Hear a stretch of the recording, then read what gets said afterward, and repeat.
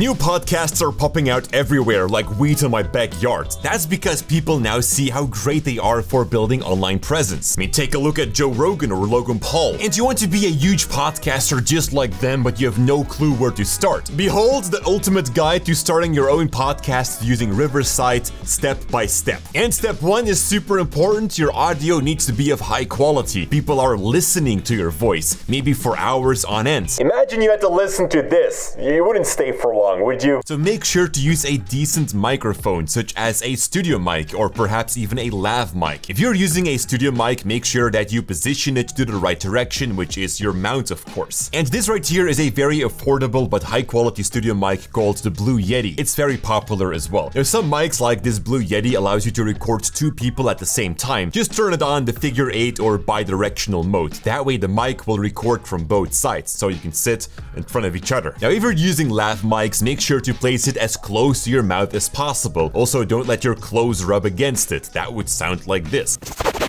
The video quality is important as well, but nowadays smartphone cameras are perfectly fine for recording a podcast. Of course, you need to take care of a few things first, like lighting. Make sure to sit in a room with enough light, not like this. If you don't have fancy lights, just sit in front of a window. Now don't place the camera facing to the window, otherwise the light from outside will shine right into the lens and the talent will be difficult to see. Turn around but in an angle so that the sunlight acts as a key light for your face. Lighting, check, but now you need to make sure that your video is framed correctly. When you and your guest are filming from different directions, you can film yourself from the middle of the screen. But when you have a guest with you in the same room, you're looking at each other. So make sure to position yourself on the left side of the frame, leave some space on the right. That indicates that you're looking at your guest. And do the same thing for the guest, but this time leave space at the left side. That way it feels natural when you're switching between two angles. You know, they're both looking at a different direction, so it seems like they are looking at each other. If they were to look at the same direction, it would feel like they are both not looking at each other and just somewhere wandering off. Alright, what now? How do we record the podcast in high quality? For that, you're gonna need a platform like Riverside. They are also sponsoring this video, by the way. It's my personal preference as well, but you'll see why in a second. To get started, you need to create a virtual studio where all the participants will connect to. Click Create New and give it a name. Here you can change the studio settings. Type in your name and select if you're using headphones or not. By the way, using headphones are definitely recommended.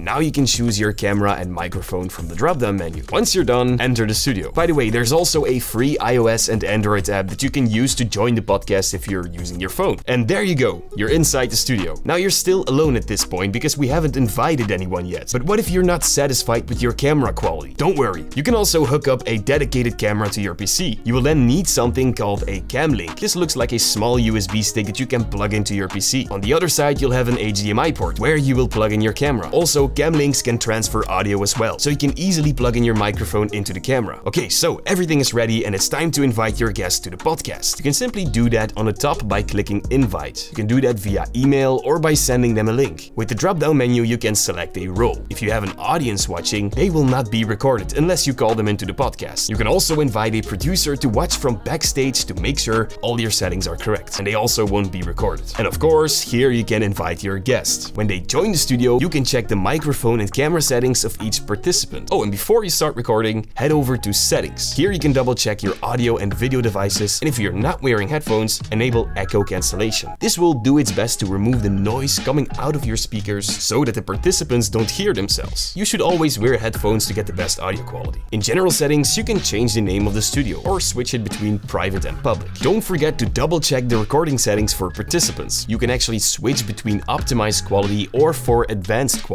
Here you can change it to 4K or 1080p resolution. Alright, so now that everything is ready, you can click the record button. The podcast will now be recorded so that you can edit and upload it afterwards. Now everything is going smooth, the recording is going well, but suddenly your guest's Wi-Fi is struggling. Maybe because he's at an airport or something, and now your podcast is ruined.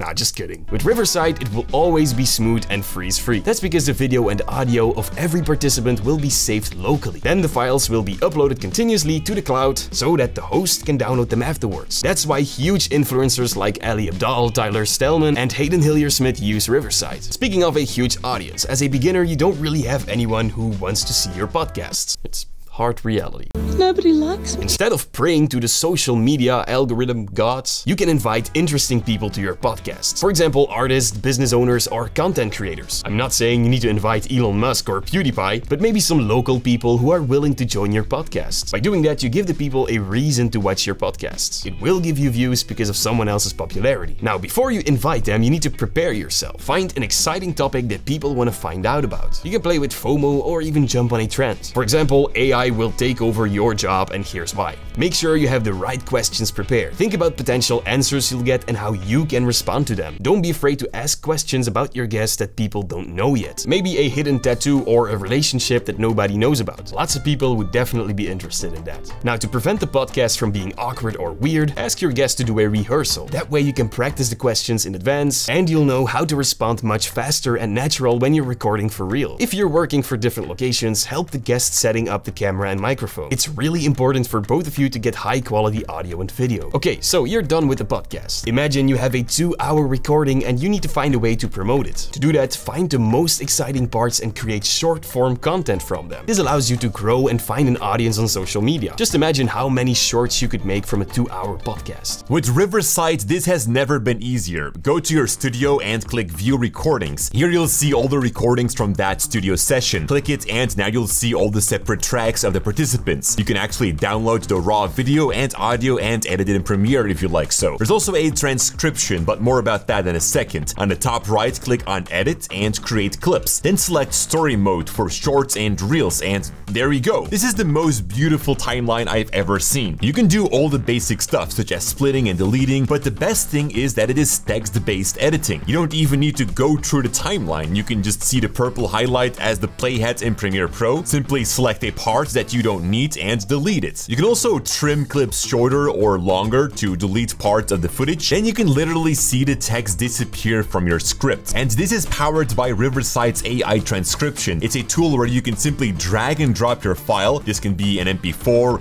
WAV, or MP3, whatever. Select the language you're speaking and click Start Transcribe. Once it's done, you can download it as a TXT file or an SRT, or you can upload it to YouTube, by the way. Now, to create a short, simply select a portion of your video by dragging the selection, and as you can see, that selection would also be highlighted in your text editor. If you're looking for a specific topic or word, just type it in the search bar and there you go. To further customize your video, click the layout options on top. Here you can change the shape and the order of the participants' videos. The AI speaker layout will put the speaker in full screen, but when another participant is speaking, the layout will automatically change to that person. So, first of all, what inspired you to create videos on YouTube?